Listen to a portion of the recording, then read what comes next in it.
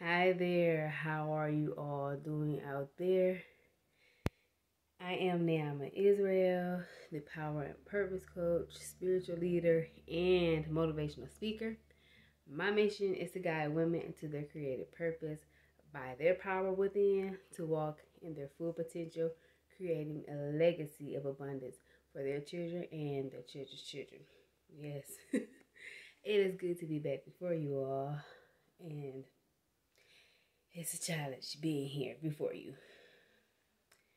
As my pregnancy progresses, I am becoming more and more tired and fatigued and just have no energy. But I'm pushing through. So I want to get these parts out to you all about accomplishing goals, setting goals, and once you have set your goals, how you uh, will put them into action. Take the steps to put them into action.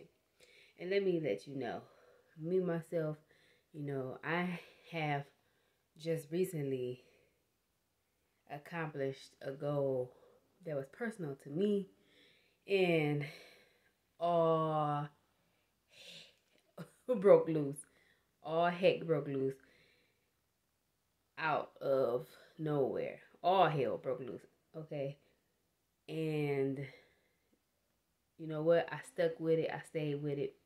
And I just kept progressing and believing that even though I have these obstacles and I have these challenges, I can still accomplish this goal to the best of my ability. So I have done that and I plan on setting more goals like such.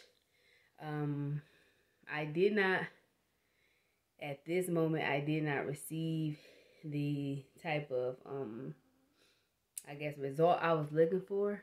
But, you know, things are always hidden in plain sight. So, and things are invisible. It will come visible, as the word says. So, I will have that faith, hoping that whatever it is that I um, imagine will come into being in the physical. So, when you start off on your journey and you accomplish of accomplishing goals, we talked about setting goals on part one. Now this is part two.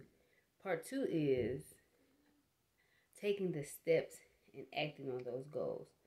So, like I mentioned in my own story, um, I had to overcome obstacles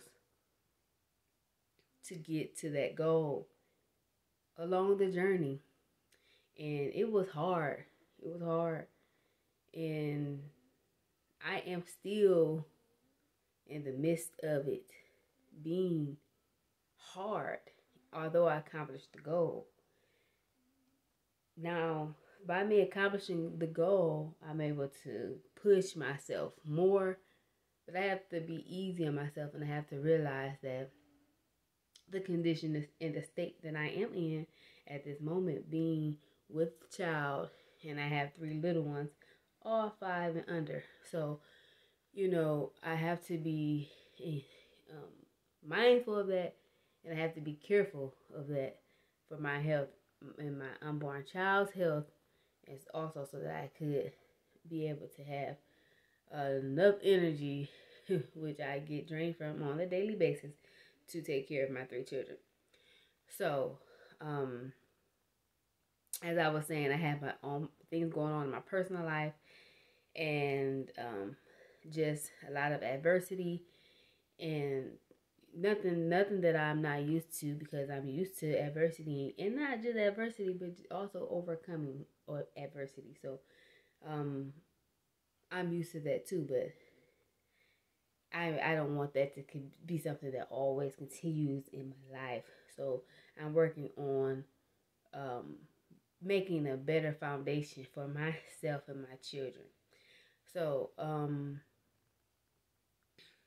with that being said, you know, along the way of setting my goals, putting my goals, taking the steps and put my goals into actions or taking action and do put and taking the steps, the small steps to act on my goals. Uh, that is the number. That's the number one in part two. So the number one thing is to. The number one thing that you will, will happen is that you will be met with challenges. You will be met with challenges when you are um, embarking on a journey of setting goals and acting on them. You may be met with challenges, adversity, and you know things that come up that hinder you or are set up to hinder you from reaching the goal that you have at hand. So when you are met with those challenges, like me, I had to readjust. I had to readjust. You know, um it started out I was it wasn't smooth. it did not start off smooth by far. But it started off where there was a level of norm normalcy for myself, but things begin to become harder and more challenging. And then um I it broke. Like I thought that it was already up I was already in a place of being uncomfortable, but I really have been put in a place of being uncomfortable, you know, just in my environment and just, um, you know, being in a place where I haven't been in years. So I hope to be able to share more of that with you on this channel. But um, for now, I just want to stay focused on this lesson, on this message today, so that you will be encouraged um, despite anything that might come up that would, is called is there to cause you to be off balance or to throw you off balance just so you can stay on balance. It's okay to readjust. It's okay if you even have to in the midst of a goal if you even have to take a step back to um you know just refocus and readjust and just figure things out. That is okay. It's okay to do that because that is part of the process. That is part of the process. And once you do that you can always come back and get back on track. So um just continue to push. So, number one was you will be met with challenges. Number two is you will need to, you know, do some readjusting. Do some readjusting. And then number three is that there may be a delay. And say, like, on your course, on your timeline, that you see things you know, you may have a vision board and you may have set a goal to have completed within a month, maybe 30 days to uh, 90 days. And it may run over the deadline, but it's a delay. It's not a denial. It's not something that won't will not happen ever. It just goes back into line with understanding that stuff happens, you know, and when stuff happens, we have to readjust. And there may be delays by readjusting. But that doesn't mean that you have to give up.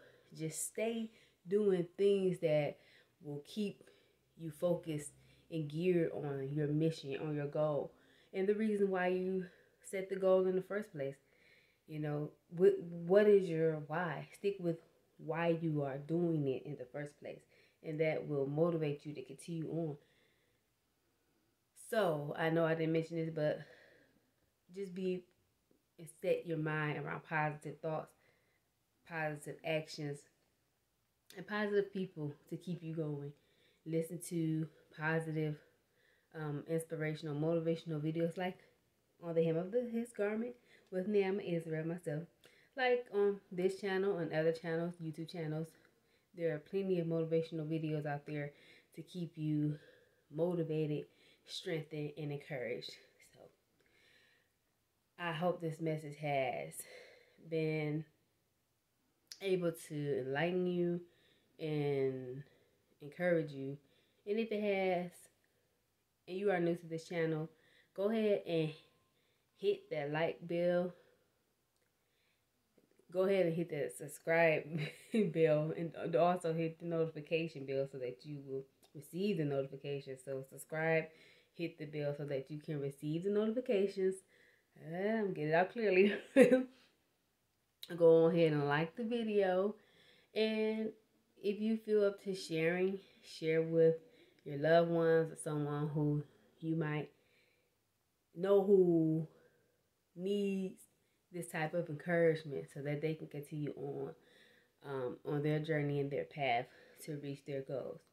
So thank you for tuning in with me. I am Naamah Israel, and you have tuned into the hem of his garment. And until next time, take care of yourselves and each other.